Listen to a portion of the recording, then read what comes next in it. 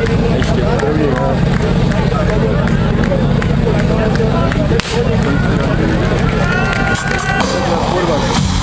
streets of Miami to represented at the Grammys.